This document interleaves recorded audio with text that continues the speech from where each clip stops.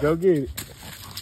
She gonna bring it back. She playing catch or fetch or whatever y'all want to call it. She gonna bring it back. She always do. Come on, I'm right here. Here I go. Yeah. I didn't teach her this. I just threw a stick one day and she brought it back to me. Told you. Come here, I'm right here. Bring it here. Bring it here. Bring it here. I got lit content for y'all, man. I got dogs I ain't taught shit doing shit. You know what I'm saying? I got lit content. Bring it here. Bring it here. Don't chew on it. Bring it here. Bring it to me.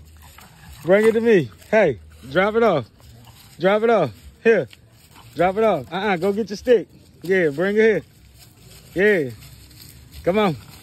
Come on. Yeah.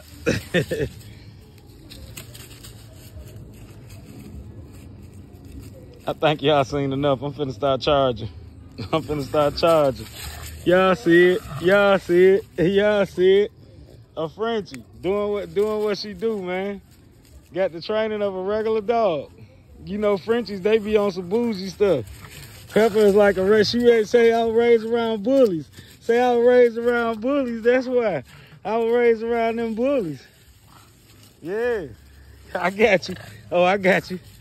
See, she brought it back twice because I ain't throw it again. Yeah, man. Hey, each one teach one, man. This what she on, man. This what she on, man. Hey, I bring y'all lit content, man. A lot of times I just bring y'all puppies fighting and stuff, man, because they don't do nothing but fight and drink water. That's it. But uh, yeah, Pepper, man, she'll be two, two in April, and she on it. Remember to like, fave, subscribe, hit your notification bell for fresh content daily.